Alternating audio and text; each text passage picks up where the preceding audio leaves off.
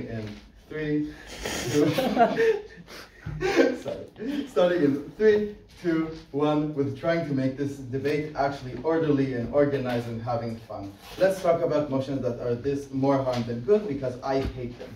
The comparative here is that is that when they don't do it, uh, when they do it less before the rise, they still do it to some extent in the most extreme cases. I'll give you an example. When you say that the poor are being oppressed, it is widely known for the last 20 years that we acknowledge that African Americans are disadvantaged for in, in, the United States, for example. And for that reason, when there's extreme lack of intersectionality, we think that even before the rise, it was criticized. And so we only have to prove that the rise, when we do it excessively, does more, does more harm than good.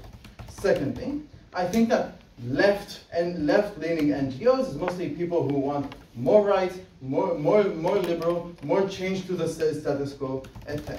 Lastly, we think we think that largely we accept that all oppression is is, is bad. Uh, all oppression is bad, and that having less oppression is good. Yes, I'll take you. This motion isn't that this House supports the rise. You have to defend it being entirely good or entirely bad. Yes, I know. I'm going to show you completely why it's more harm than good. I don't understand this uh, this clarification. Last thing I want, I want to say that intersectionality as defined by motion clarifications is that all oppression is linked. So not necessarily just the examples in the emphasized, but also that feminism and, and Black Lives Matter have to work together to, to face the system and can't do it on their own. But with that, let's try to make an orderly debate. What do we think that happens? Basically, we think that pushing intersectionality by criticizing NGOs means that they attempt to be more intersectional. Means that uh, mean that they focus focus more on uh, on combining the values, combining the combining the oppressions, and facing and facing them together. Why do we and to, to, and because of the criticism that they get, they want followers, they want to enact the change, attack, attack. This will come later in my speech. But the key mechanism, the key burden that I want to push and prove is that, sorry, oppressions have different systematic problems, and solving one of them doesn't necessarily mean solving the other, and even abstracting eh, them and solving something in the middle does harm to both. Let's start with why I think everyone has a difference. Every type of oppression has its own cultural, historical origins that are different. The systematic problem is different. There's no one solution that solves all, right? If it's police brutality, it comes from the over immunity of the police, uh, of the, of the police, and so they're not prosecuted not held accountable when they do things that we think are morally wrong and uh, by the law are, are, are wrong. Discrimination against women in the workplace comes from both prejudice, but mostly because, yes, women have some different needs. Sorry, men don't give birth. They don't. They, they don't. They don't. They, they don't need uh, to to go on uh, on leave for, for for childbirth. And so, together with actually having some different conditions that need accommodation, people are also very very uh, have the prejudice against it. Let's continue. I think that uh, I'll take you at five. I, I, I think that exploitation of labor, right, uh, extreme capitalism is not the same as prejudice against African Americans or the fact that because of historical reasons, they are more poor, more disadvantaged, and have a different reason. Or um, that I said. What I'm saying here is that the likely case are that all different, all the difference are, uh, all of these sort of different things are different. Okay, they have different systematic reasons. Why? Because of all of the examples, and this is most of the cases. But second, because, and this is structurally, if they had the same systematic problem, they would already be the same movement. By that I mean, if African Americans in Atlanta face one sort of oppression, and African Americans in New York say, safe and face the same kind of oppression, even though they're geographically different, geographically different movements, they join together to face to face the same oppressor. What ha what happens on our side?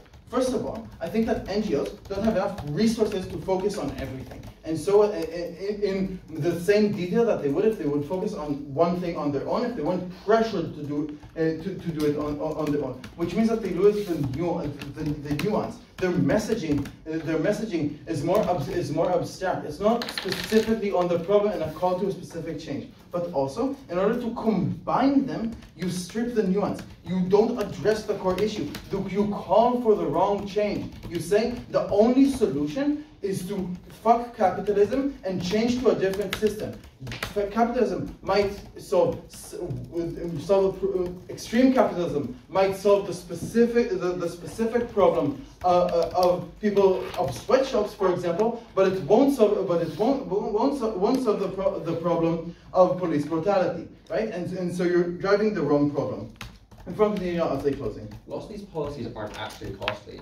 Having a diverse workforce isn't something which costs you any more money. Yes, but political action of the people that you want to vote, you want to protest, is. And that is exactly what I say. You're driving people away, right? Not all the people who support, who, who oppose neo-capitalism also oppose police brutality. Maybe they're not aware. Maybe they don't face it in the, in the day-to-day, so they don't think it's that extreme. They downplay it. But that is most of society for most of the systems of oppression, because most people are not oppressed by everything. They're oppressed by one, by, by one of them which means that they are un unwilling or don't understand why they have to support the other thing. Why do they have to go out to protest? I notice that protesting is an extreme act to do. It means disrupting my day, disrupting the life of others. And lastly, motivation. I think that just the activists have less motivation and for simple and, and support and less supporters for a simple reason. If everything is linked together, the only way to enact change is to overthrow everything. That is a huge burden that is very, very uh, demotivating. Because what are the odds that I will be the difference to change the whole system, change capitalism, change the, the foreign affairs of the United States, change the way everybody behaves in the workplace? On the other hand, I'm facing one problem. The problem might be big, but it's a problem that if we gain together, we have uh, the, the, people which are more people, so more likely to, to more likely go out. What does this mean? More people, more, more motivation, calling for better actions it means that you have more political support to enact the change. You have more motivation to put up fires, more motivation to protest, more motivations to call your senator to change the form of, the, the, the, the form of oppression. And you're calling for the correct actions and not some ambiguous thing. For all these reasons, I'll shut up.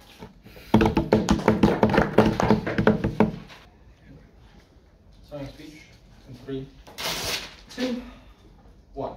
Look, we, sorry, sorry, this time my bad. Sorry, starting my speech in three, two, one. Look, what we're going to push here at OO is generally this sort of criticism is a good thing because intersectionality is a good thing based on is a good thing for the people to care about and based on what they care about, it is good for NGOs that they get more buy-in to cause more social change. So generally, the criticism from the left is a good thing, therefore more good than harm. I want to do some quick responses towards OG because I think I feel, I feel like the, the way they characterize non-government organizations, NGOs, is a bit weird. It's like they're treating NGOs as like political parties, as in they seem to say like, ah, you can't focus on everything, uh, and therefore it's expensive, and it's better to focus on one thing. Look, NGOs are not strictly political parties, okay? Majority buy-in is not it's not it's not necessary for them to do good in the world, right? It is of course good, it is beneficial for them to have more buy-in, but it's not a tangible way. It's not intrinsically linked to their success or not because it's not a political party. You don't need to win an election or anything. You can based on what the political party is, but I'll get into that when I characterize further. But I think the way OG characterizes NGOs is done in a way that kind of detracts from the impact the true impact of this motion, which is how much change can NGOs actually get, and how criticism interacts with that paradigm.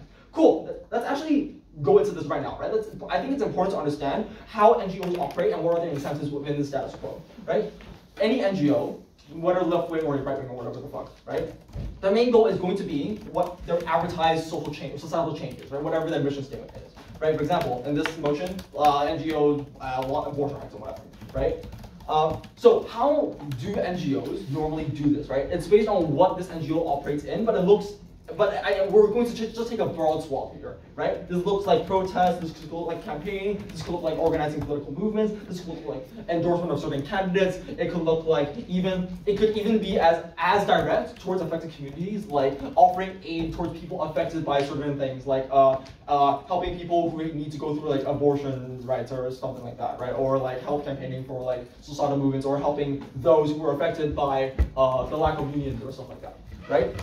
So how do they actually gain the capability to forward this large spectrum of like different actions that they could take as an NGO, right? This is this is how they need to rely on some degree of public buy-in, right? Voters or like sponsors for these NGOs need to have a willingness to find the NGO they want and also donate and contribute to the NGO central mission, right? This, look, this could look like donations from the laypersons, this could look like donations from like organizations, whether they be external organizations that are not NGOs, this could look like political groups, social groups, or even like supportive oligarchs or rich people or corporations who are in support of this NGO in the first place, right? Note that this analysis shows that what it is, is as long as there is some degree of public buy-in and willingness to donate from a certain group of members, it is enough for NGO to do certain actions that benefit a community or benefit towards the central mission statement that's trying to do in the world, right?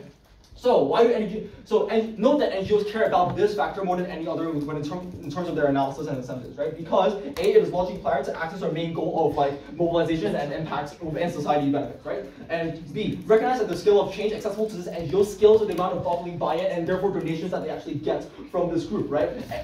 This looks like we, we can simply get give more aid to people affected by our organization if we just have more uh, campaigning and stuff like that, right? And also finally, people, and also I think it's also recognized and characterized that people working in these NGOs are likely going to contribute even if they get less potential benefit or whatever, right? Knowing as you're going into NGO, knowing you're not going to get paid much as if you were working in like a Fortune 500 company. I believe people in these NGOs probably are very motivated towards their like passions or whatever, right?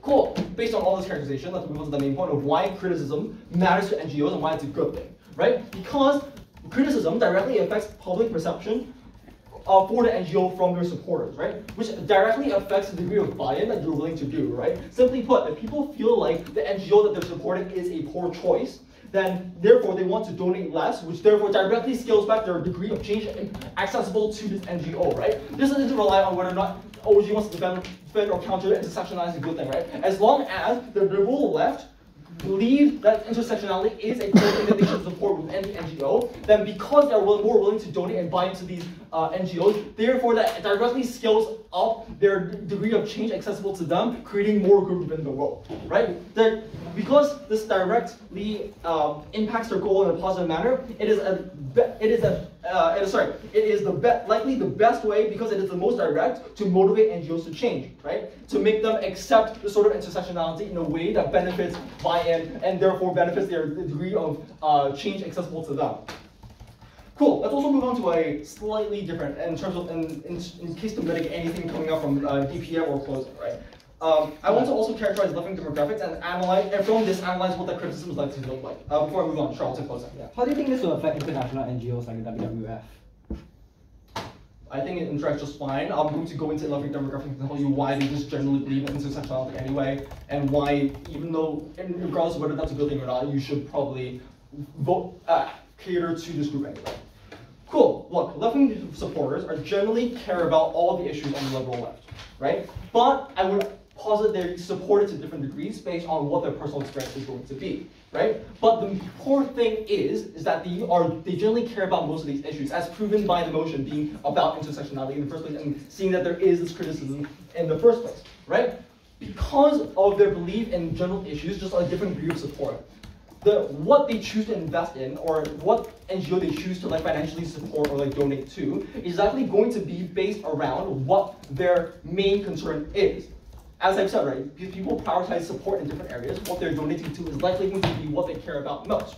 Because they care about, let's say, workers' rights most, they're probably going to donate to a worker union the most, as their top priority in terms of what NGOs they support. If you care about abortion rights the most, you're probably going to donate to abortion, uh, abortion, sorry, abortion rights uh, NGOs and stuff like that, right?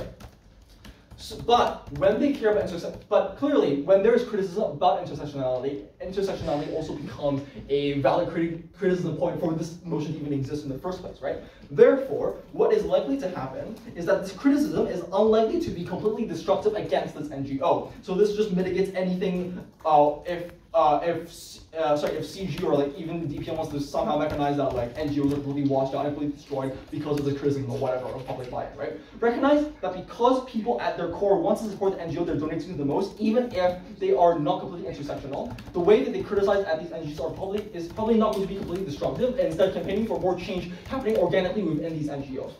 Um, finally, I just want to push burden push onto OG here given the fact that you believe that the religion criticism of NGOs fails to bring more harm than good, you need to tell me what that harm actually is besides just intersectionality bad or whatever. I think it's also important for them to tell us whether or not there is a way for NGOs to further change and what is this alternative mechanism. Thank you.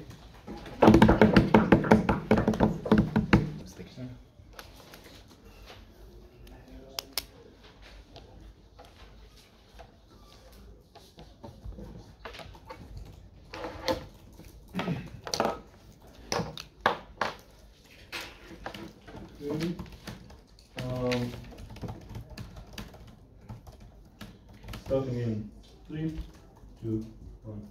Great. Uh, a number of things I'm going to do in this speech. I'm going to rebuttal a bunch of O's uh, uh, rebuttals. I'm going to do some buildings. I'm going to explain how uh, criticism actually helps the motivation of uh, activists and of supporters of those causes. I'm going to do a bunch of weighing and I'm going to explain why we win this debate. All right, great. Now, what do we get from O? O tell us that NGOs are political parties. Now, public support is directly correlated to public donations, right? Vast majority of funding goes there. And a number of volunteers and their motivation to put in hours.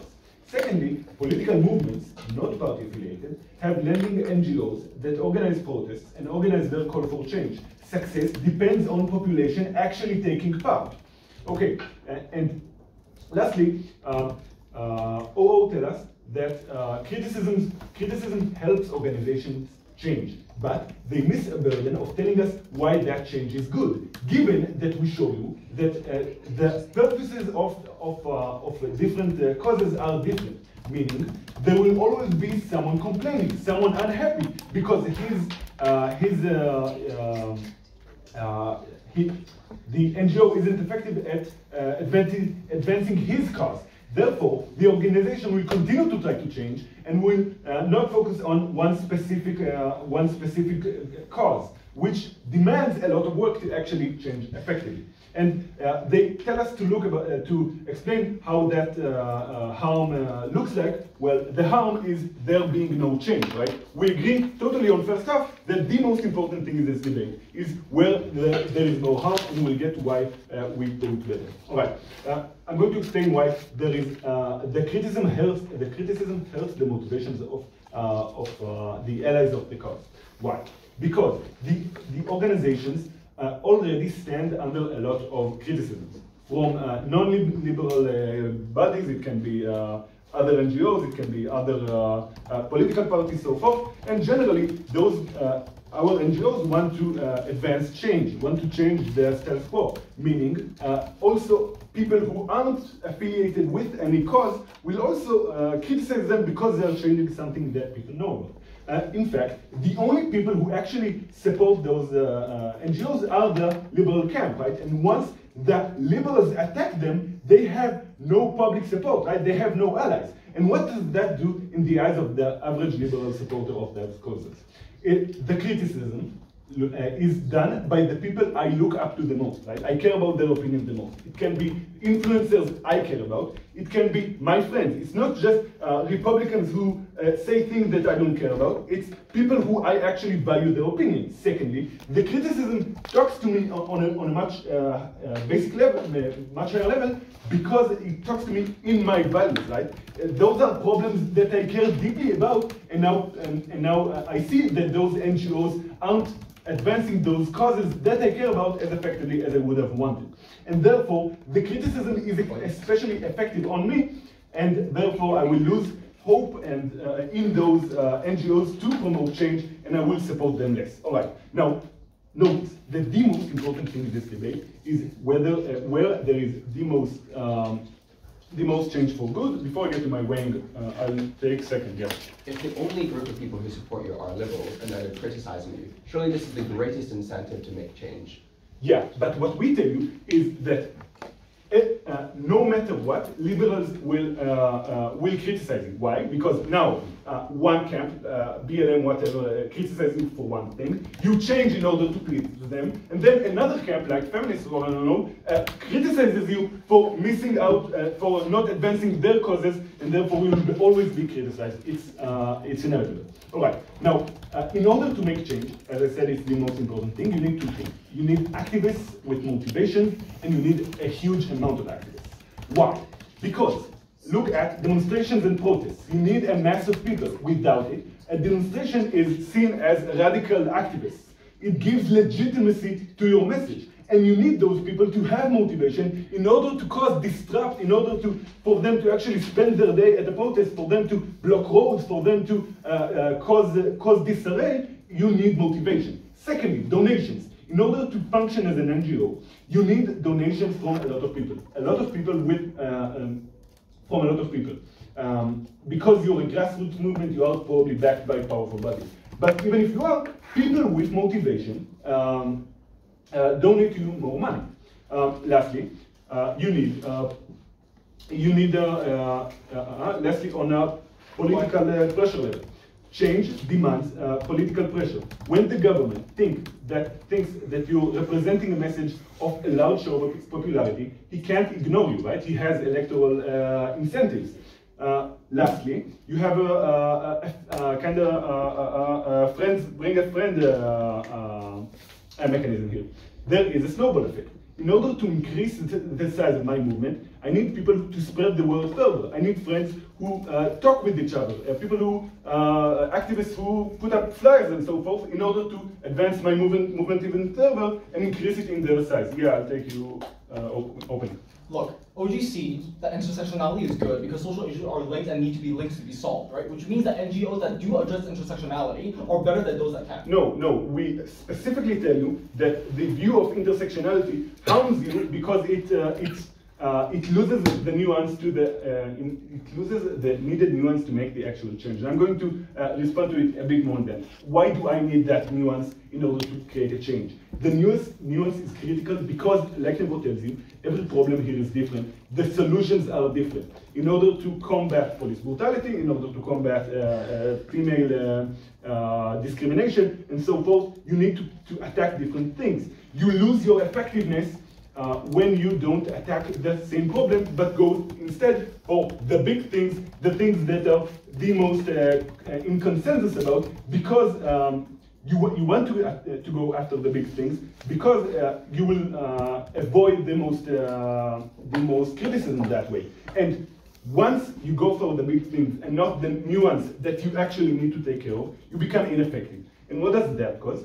The ineffectiveness actually feeds further the lack of motivation that that uh, your uh, uh, activists have. Why? Because people now believe less that the fight actually works because it's less effective. So they say, okay, I'm wasting my time in something that doesn't actually do anything. And for all those reasons, we beg you to support.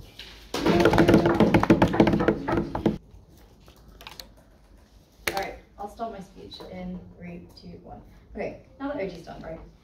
Okay, I, I think I think we hear from OG that no one solution solves all, right? I think this is exactly the point of intersectionality, and it's exactly why it's good, right? There's a misunderstanding here. It's not that like all solutions have to be different. Like, of course, like majority of things, um, things like Black Lives Matter movement and some aspects of the feminist movement are going to have possibly different solutions to them, right? But there are significant areas and demographics of these kind of movement, of these kind of policies that overlap. These are the demographics that need more of a voice, and these are the demographics that intersectionality gives a voice to. These are important, right? Like by their own statement, social issues are linked. Um, so this means that if you can find a way to um, to treat those issues where they overlap, for example, i.e. intersectionality, this is a good thing, and NGOs that exhibit this, um, therefore give more benefit to the social movements they represent. This involves more buy-in, more donations, um, more campaigning, more lobbying, more activism for these NGOs. This is a good thing, right? Like, okay, I think I think the harms from OG that we get, we like, we get the thing about like the strain on resources, right? I'm going to tell you that it's unlikely for an NGO to like completely fail under criticism for the left. Why is this? Because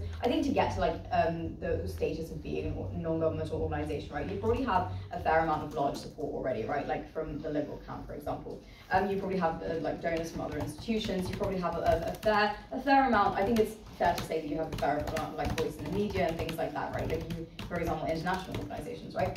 Um, so I don't think it's likely that an NGO is going to like crumble under this possible strain of resources you buy it. I think what's more likely to happen is resources are going to be diverted, right? Like I think it looks like diverting and rearranging resources. For example, right?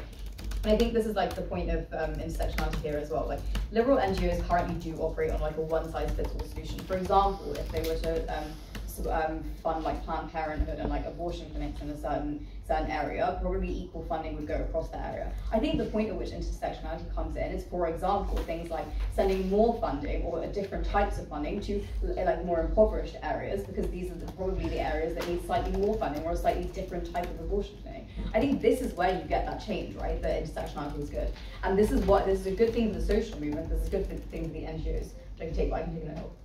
Northern Brooklyn LGBTQ NGO doesn't have mass donations from the outside. They're a small community and they donate to themselves, relying on their own support.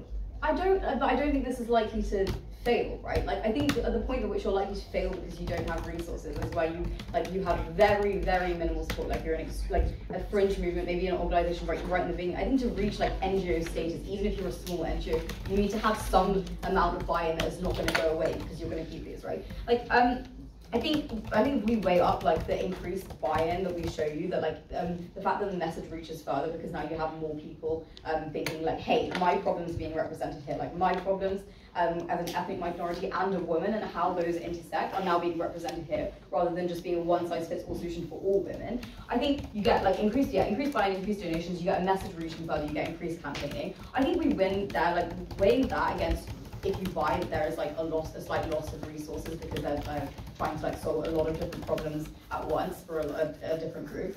Um, I think we win on like pure quantity of support here, right? Like it, this also works to increase your resources as well because just like the initial like donations are going to get you more money to buy resources. Um, and I think like again the, the idea of like campaigning for more nuanced things rather than what you see. Like I think I think in a lot in, in a lot of societies um, where NGOs are operating, right? Like you they know the headlines of major like left-wing um, movements, right? You know, we know we know things like um, the headlines like pride movements, feminism. I think campaigning for more nuanced things, which happens under intersectionality, leads you to more like me media coverage, for example, right? I think all of this outweighs like any possible strain on resources, given that like power characterization of NGOs, like your buying is probably the most important metric here, right? Um, your like donations, awareness, coverage. Why is it the criticism, specifically left-wing, um, left-wing criticism tends to do more harm? As my partner said, when at the point at which you are not a political party and you don't get votes, right? You get you get things more like awareness and campaigning. Um, NGOs have a responsibility to listen to the voices of the people they represent. Otherwise, structurally, they don't know where to divert resources. They don't know how to um, they don't know how to campaign properly for change in social movement, which we've agreed is like an important thing to succeed, right? Um, I think criticism. I think criticism ha has a unique stance in that um, if you feel criticism from the people that you have a responsibility to represent, and it's likely that those in charge of an NGO feel that responsibility, right? Like the, they have an incentive to feel. If you uh, if you are taking um, criticism um, from people, it's, it's, probably likely to be like on media and things like that. If you're taking criticism from the people that you are likely to represent, um, you are more likely to change because they are your priority, right? Like they um, NGOs have um, NGOs have a motivation to help those people, right? I think criticism is probably going to look like um, I think left-wing criticism is probably not going to look um, as incredibly harmful or like um, like malicious, as um, um, as Gov mentioned, might want you to believe. Reason being, because these people, their criticism come from a section of intersectionality, they have recognised that there are overlaps between certain demographics and certain problems. I think this criticism is likely to be very constructive, given that, um, as a whole, even though the, um, the whole of the left-wing movement and liberal movements have probably um, have slightly different demographics, slightly different views, I think as a whole, um, their overall motivation is to progress social movement, less oppression given by OG in the in their speech, right? I think at that point, I think your criticism was more likely to be constructive and NGOs was more likely to um, like listen to this, right? I would also weigh up like, um, so why is it a good thing that NGOs get more aid and support um, versus like maybe like political parties getting more aid and support, right? I think there's like a view of NGOs um, across the whole left-wing camp, even if you have criticism of them, as a fairly like do-good thing, right? An ability to connect to many people, which is exactly where it's important to involve intersectionality so you can reach as wide an audience as possible, as wide a buy-in as possible. Whereas in political parties, often like more bureaucracy, more barriers to this. I think NGOs is where the change of social movement happens, and this can only happen if they listen to people. This can only happen if they listen to in, like as many individual experiences as possible to get that um, campaigning awareness and buy-in. I think that um, I think that's exactly like why you need to involve intersectionality, right? Like I think the harms that people the, the harms of like criticism, I think you get you get the like lack of resources, like why lack of resources is likely to be a very small small change and doesn't weigh up. I think you might get um you may get this idea from Garbage about like a lack of cohesion on the left, right? Like you're hearing criticism from a, a good NGO about um um, as I said, I think this criticism, as we characterize, is likely to be fairly constructive. Um, so um, fairly constructive, even if it's not right. I think um, it still draws attention to what you want, which is that like I rather I rather that like um, more people are able to rally and connect with NGOs um, from more nuanced movements than like a larger movement with a lot of disenfranchisement, right? I think this is, intersectionality is important, and it's important that NGOs take this into account. Thank you.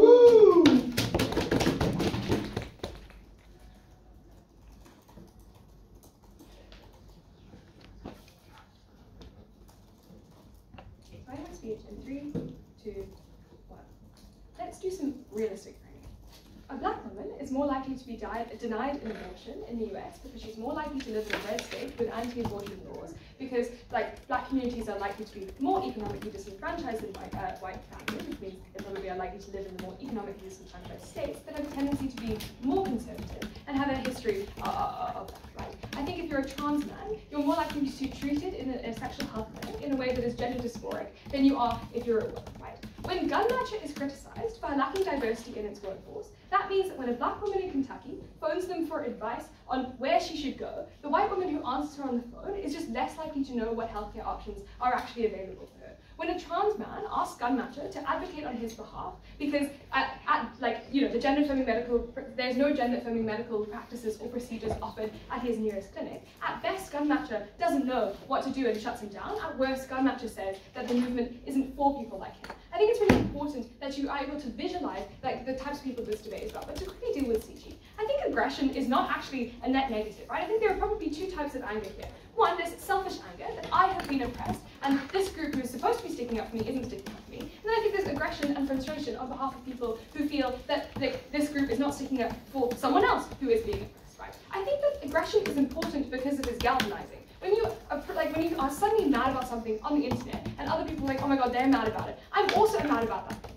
But when the echo chamber echoes, I think it probably becomes murky. That's fine. So you have lots of people spewing random shit about how much they hate their nearest abortion clinic, right? But I think this is the point at which someone else decides to come in, aggregate that strength of feeling into a nice infographic that's like explains everything in detail. They're like, ah, why we dislike uh, a Guttmacher right now. Gives 10 points in this clear infographic, and everyone posts that on their story, right? I think you've seen this literally happen with every single time uh, a conversation gets murky on the internet, right? I think if the discourse makes the NGO feel ashamed, like CG says, and I think their incentive is probably to change. But I think it's not a bad thing that if, if the discourse is as strong and as threatening as CG threatens it, uh, says it is, and our NGO is no longer able to function or it ceases to exist, then I think this is a very large group of people who still want an NGO to exist, just to be more representative. And then we think we have better NGOs being raised and supported, and I think we have the financial resources being directed into them.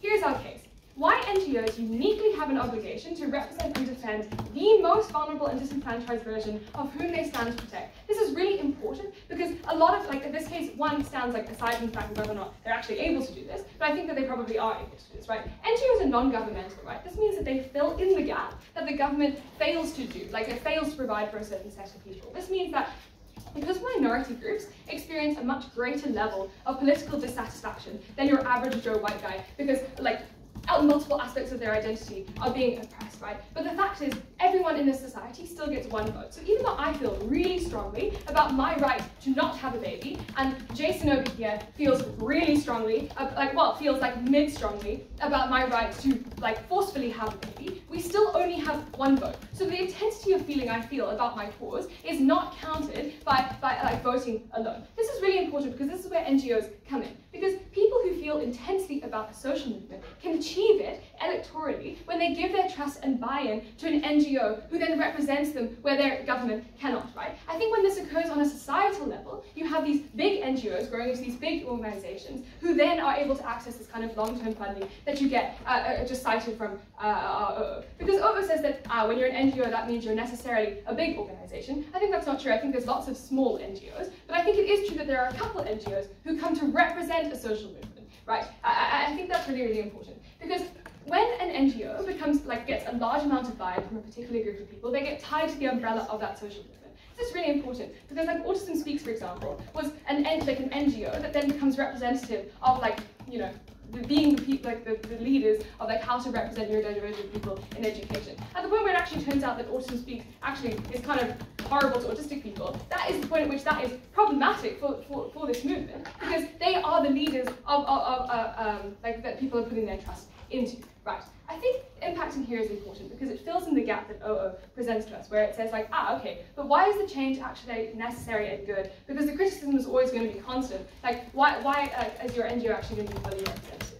One, it is just the fact that the people who are excluded are the most vulnerable and affected targets of the oppression that the NGO is, is working against, right? This is important because if the criticism is effective, and we think it will be effective, and the NGO changes to include them, even a little bit, even if suddenly like Guttmacher's fights for like there to be more abortion clinics set up in Kentucky, or like there's a couple sexual health clinics like set up in your state which are, do offer some kind of gender affirming practice, then that is good because these are the only like institutions who are advocating for this group of people in our society, right? This is a real change for a group of people who no one else has the political gravity to advocate for. OO says this criticism is constant and inevitable, but this is really unnuanced because rationally there is a limit to what is expected from each individual NGO. I don't think people criticize Gun For not being, being pro like Black Lives Matter movement as a whole. I think people are criticizing Guttmacher, even Put It In Slide, for not having enough like black employees who know things about like uh, uh, the hotspots in which like, you know there is more of a need in the black community for uh, um,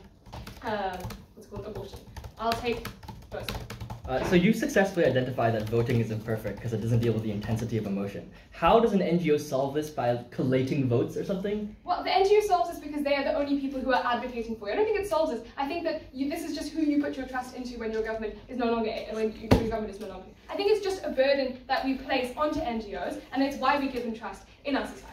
So why do we actually think that criticism is effective? Because what Owen says is that if you take criticism from people who you seem to represent, then you learn to allocate your resources better, and you just like doing this, right? So why don't you just listen already? Why is like me writing a nice email to Gun being like, hey, you should really have some more black employees? Like, why does why does what is that need for the active tarnishing of the uh, of this institution's uh, uh, reputation? Right? I think there's two reasons. The people who are in charge are often affluent lefties who like once were in a bad position and who've now gained a good position and now can volunteer and dedicate their time to a cause. I think they have incentives not to publish things that are aligned with their ideology. I think they're usually like wealthy white women, as we've kind of agreed, which means they're kind of insulated from changing ideologies. And I think they're probably quite entitled because they've dedicated a whole bunch of time to this cause, right? Comparatively, people who just support these NGOs are just your regular left-wing people. I think the, the, the, truth is that most people on the left want to be perceived as PC and woke and left, right? So it's very effective political criticism when you say, ah, this group that you're supporting is actually not left. I think most people are not actively hateful. I think they're just ignorant. I think when you point out to people that like, ah, this group that you support is actually not representative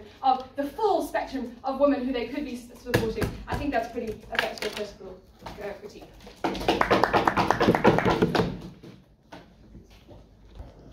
Firstly, rebuilding our case against what opposing governments say. Firstly, they say that if people care so much about a particular group of people, so for example, black people cared so much about particular clinics, then they would just set up another NGO. The issue with this response is it's just quite uncharitable to the nature of how NGOs work. There's necessarily a direct trade-off between NGOs. So certain NGOs have more advertising space on social media, they have more funding to be able to get activists and people involved. So at the point at which they have certain amount of like advertising space or like people reposting their posts, then that necessarily means that there's less airspace for other NGOs to gain traction, to gain funding. So there necessarily is a trade-off, especially for people like staff and stuff like that. But also it probably takes a large scandal for them to stop getting funding. So necessarily on our side of the house, that's the only way in which we can start up the new NGOs, which closing government agrees is likely a good thing. But I think the second thing is that they say it's unclear why we necessarily need criticism to be able to take out these NGOs, because you can just write them a nice email. The issue is that Esme already preempts this in the last minute of her speech, which closing government doesn't listen to. She says that the people at the top of NGOs, and closing government also weirdly concedes this, are the people who are ideolo ideologically opposed to intersectionality. They're privileged white women who necessarily think that they have dedicated the course to protecting their one cause. They're the people who like are on the same track and they've probably dedicated lots of their time and lives doing a particular activity, which means that if people tell them to change and they're unlikely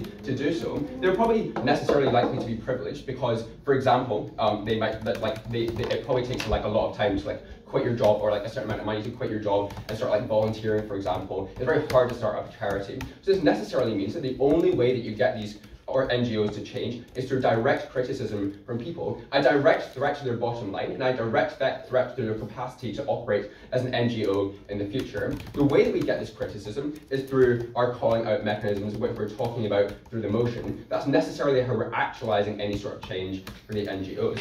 Esme importantly tells you why this is so necessary, because the most vulnerable people in society are the ones who are on the intersections, the people who are oppressed by multiple different groups in society, which necessarily means that they're just accessing fewer resources. So we care about these people to the greatest extent in the debate. CG are unnuanced when they say we care about victims, but presumably we care about certain victims to a greater extent because they're far more oppressed. The way that our calling out mechanism works is that we say that if people buy into this calling out, then that necessarily means that staff want to work with you for a lesser extent. People who are fairly entitled don't want to work for an institution or an organization which is seen as being corrupt. Big funders don't want to be associated with an organization which is being called out for having scandals, for being anti-diverse. Because probably the reason why big funders are investing in you is because they want to be seen as woke or liberal so that like woke people buy their products. So probably that, that just happens to a far lesser extent at the point to which they're getting called out willy-nilly. Now, let's deal with closing government, or actually let's deal with opening government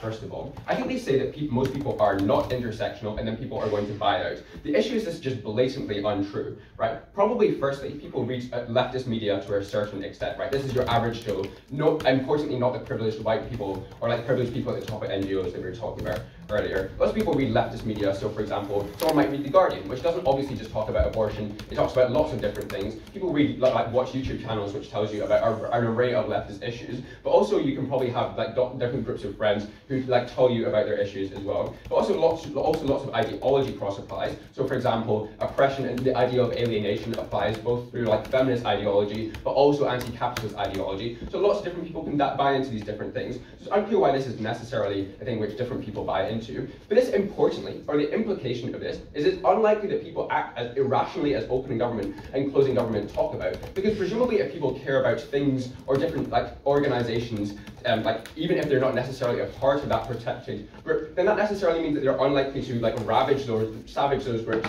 on our side of the house as well. Because they still care about the abortion, like charities being able to function. So they probably don't have that great of an incentive to just call them out if they are intersectional. But it's also unclear on opening government why they stop fulfilling their purpose as well because of this. Because why are some why is like an NGO which is about abortion suddenly going to start talking about like diversity and promoting diversity? I think that was the burden that opening government tried to meet. I think it's just very unclear why this is likely to happen. But also presumably if the people are like caring about these vastly different issues as opposed to like abortion which is gobbling up other different abortion charities, then you probably do have some amount of capacity to fund a different organization. So maybe you can fund like a diversity NGO as opposed, opposed to a pro or anti-abortion NGO um, yeah, cool. Lastly, dealing, or actually dealing with opening opposition now, because actually no, I'll deal with closing government. I think you're just quite uncharitable and have some sort of like 2014 like SJW mindset about this motion because they're like there are tons of crazy woke people on Twitter who are doing like toxic discourse, um, and that necessarily means to like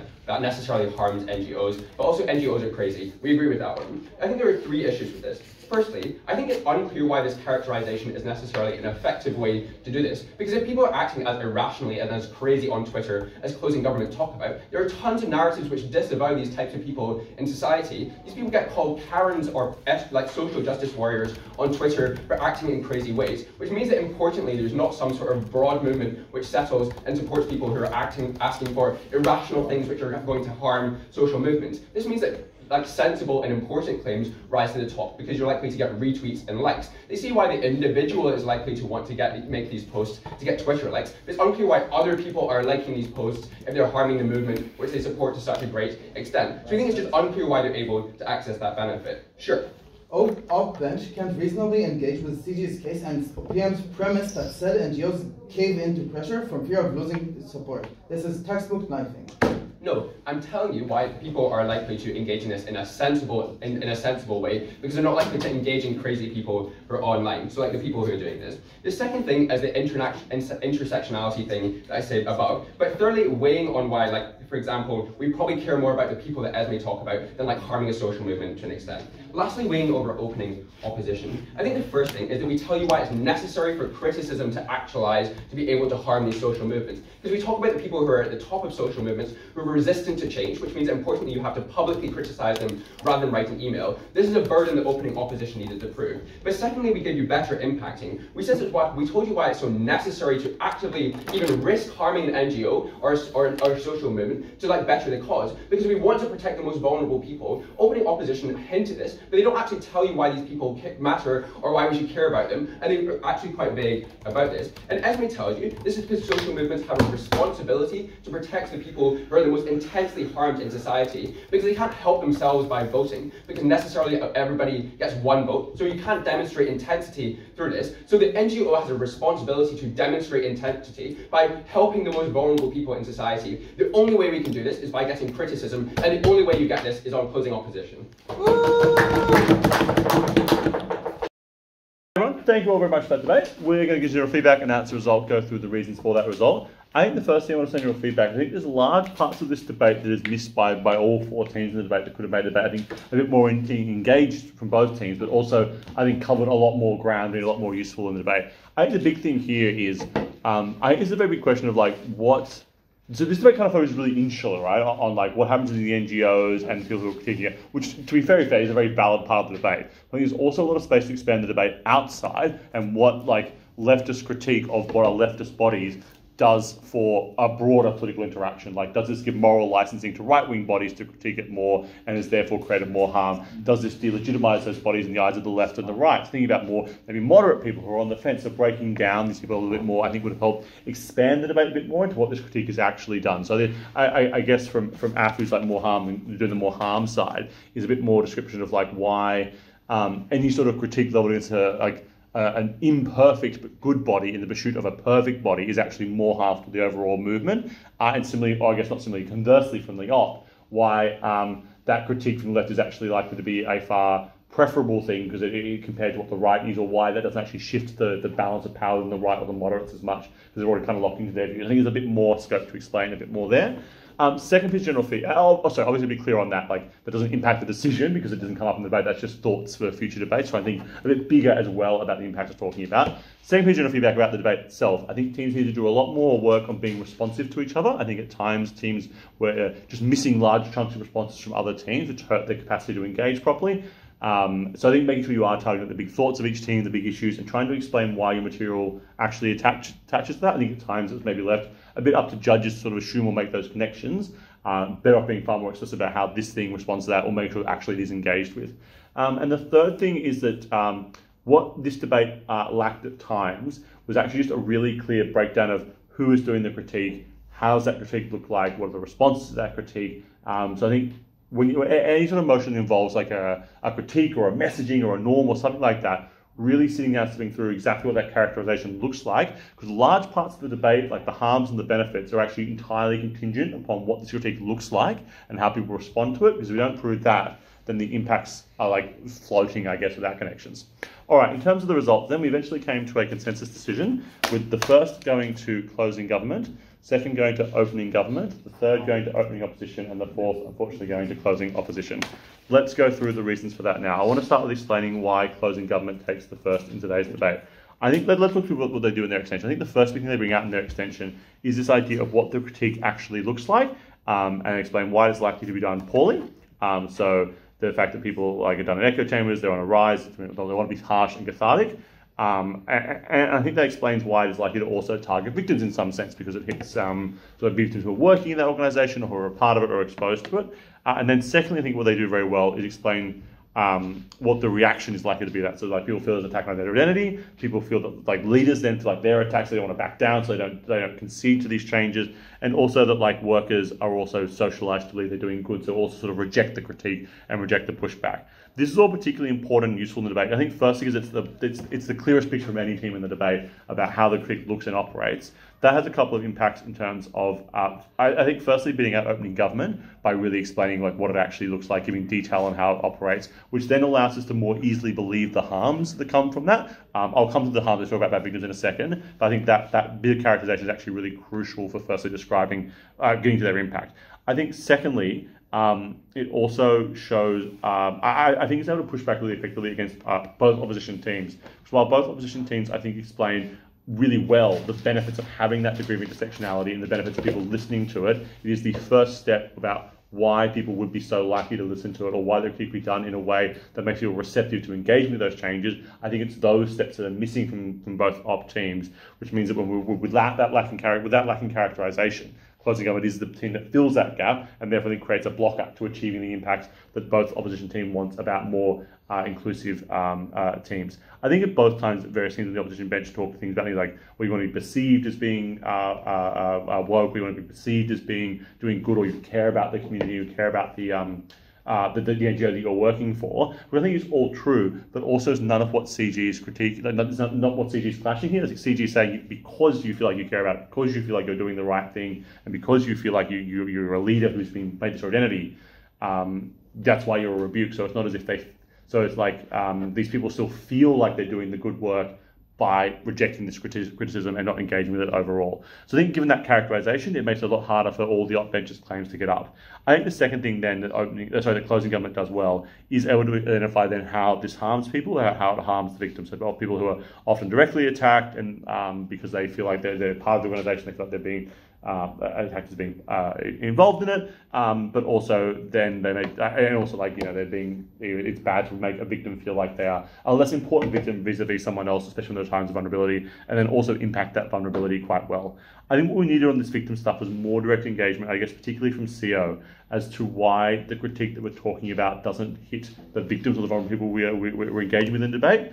I think CO does get close on this and has some mechanisms around like, well, you have the, the sort of angry initial everyone piling on that's then presented in a nicer infographic and that's what's given out. I guess that's probably true to some extent and probably this and the next couple things I mentioned do attempt to mitigate um, the closing government a little bit. But the problem is, is, is one, it's not shown how like that discourse still like the initial part of discourse is still locked away in a way that means other victims or other people can't access that. So maybe they get the infographic at the end, but they get all the stuff in the middle, and whether or not that also uh, uh, impacts them as well. I think the second thing they, that, that uh, CG talks about um, uh, is the way that um, uh, what do I want to say here?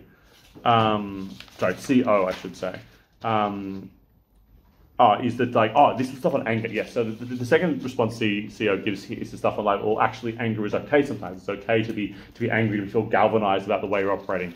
Again, I think that that is like a fair justification of the emotion of feeling anger, but I think it doesn't respond to the ways in which CG identifies that that is likely to be like felt badly by the NGO and those receiving it, um, but also like done in a productive way. Like, like maybe you feel angry, but if it doesn't end up having a good outcome, then it doesn't actually uh, end up being doing doing more harm than good. So ultimately, I think we'll end up to try and sum all that up at the end. I think what closing government's explained here is the way in which this critique is operated has generated an environment where more harm has occurred uh, than what has good, which means that even if some do, some of that change that has talked about has gotten through, even if there are some good people in those NGOs who are receptive to it, um, that is still outweighed by the, the bigger harm that uh, closing government has caused. Let's then talk about the 2-3 split in the top half of the debate. Um, so I think the, um, the, the, the, there's an interesting clash here, I guess, about what this critique has actually led to and what the impact that it, what it has done uh, to NGOs. And I think this is this was a, a split we went back and forth on. I think quite a lot um, uh, in in the deliberation because I guess both teams are claiming that this this action of critique um, uh, loses the group. So opening government's claim is that um, there's a group of people who no longer support the NGO because they feel like it's drifting away from its mission or it's not achieving its outcomes or it's not doing the purpose it's meant to do because it's trying to fix a bunch of different problems that all can't be solved by the same group, by, by, by, by focusing on intersectionality. Um, and, and, from opening position, there's a claim that well, there's a bunch of people who would no longer support or donate or contribute to NGOs because they feel like they're not being intersectional enough and not doing enough to, uh, to, to, to, to, to help that group. I guess the problem we have here from both teams is a question of like we're unsure which group is bigger. We're unsure about which group which group is having more impact or more power uh, in the debate. I don't think either teams do enough work to identify why that is likely to be the case or why that is likely to um, uh, uh to, to, to change anything. I think at that point, then we are inclined to believe. I think I think opening government does provide a bit more analysis as to why people are likely to be less engaged in NGOs. The more they feel like the actual mission or vision isn't being accomplished because it's bringing in too many exterior things and is like diluting and, and not grappling properly with the nuance. We think opening position does have some good material on why like these things are nuanced. There are intersections here, but again, it's like maybe in some cases that is true, maybe in some cases opening government's true. I think what then ultimately ends up being the extra flip point for the opening government team is explaining, I guess, the effectiveness of this, and they make some claims as to why, in lots of specific cases, uh, bring in an intersectional focus to the way in which we solve problems is not likely to actually be effective in solving those problems, and it's actually likely to, to, to cloud the message and cloud the effectiveness uh, involved. So I think on the, on the effectiveness of these bodies then, um, they're able to get, uh, I, I, I think, split that deadlock a bit on, on, where we were a bit unsure about which is likely to have more or less critique or more or, or, or less impact then. So, and then I think the last thing I think I'd say on the on the on the top half here is then when it comes to like the the effectiveness of the the, the critique. Um, so from from a position like well now you critique you get more left support you get more people likely to act. I think does also revolve around like needing to do more to prove exactly how this critique flows through the organisation, why they're so receptive to it, and the changes that are likely to be made. I just don't think that is present there. So we think that opening government is able to narrowly prove a bigger harm that occurs and, and therefore prove that the, the, the greater harm than there has been good in the debate. Lastly, let's look at closing opposition then. I think I'll note firstly the positive uh, contribution we did like from closing opposition. We think closing opposition does give a very, I think, I, I, I guess, to, uh, a very good sort of impacting that really grounds what we're talking about here in terms of like gender affirming care or, or black women trying to access abortion clinics in, in predominantly conservative white states. I think what that does that is useful and, and is credited is gives the debate a bit of like a real world picture of what we're actually talking about here and where it impacts, etc. I think then there's the, the, the, next two parts where the COK starts to fall down today's debate. The first of those is then uh, a lot of the material on then because they are critiqued, um, people, the charged, privileged white people at the top of those bodies, then change and change and adapt to that critique is stuff that is already present in the open opposition case. That like like the left people who care will see the critique, see that see that it's causing harm, then fix themselves to change that. Without I think adding a whole different set of mechanisms to why that occurs. Maybe better impacting or different impacting to why, why that is good that it's occurred, but ultimately it's the same set of reasons why it has occurred um, uh, without necessarily expanding on them or updating those responses to engage the material we've heard later from the government bench about why that is not likely to be the case. I think then the second thing um, is that while, uh, as I mentioned earlier, there is some good responses or some mitigation as to why, like the critique may be like anger is good or the people will likely be supportive because they, they want to be left wing, they want to support the people. There's still a big gap then of how the critique as characterized by opening, by closing government rather, then leads to the, the amount of change and impacting that closing opposition wants to get in today's debate. I think that's that link in the middle there that makes it harder to see the connection. So while we agree with all the benefits of this thing occurring, we're not necessarily convinced that this critique is operating in such a way that it would lead to those outcomes. We need a, a stronger pushback on exactly how this critique operates, who the critique is directed to, and why it's not likely to impact victims as much. I think those sort of things there might have helped flip that or change that direction a little bit, but absent those, I think there's still a, a problem solution gap present in the closing opposition case. Um, and therefore, I think that means it's unable to get up over their, their, their closing or their opening, but then also comparing to, to opening government. I think at least opening government has a clearer connection from what, what they think the problem is uh, and then how the model impacts that and creates that additional harm, and that's why they're able to get up. I hope that all made sense. Thank you all again for a really good debate, and best of luck for the last round of Euros. Um, feedback and questions, very happy to do that as we walk back to dinner.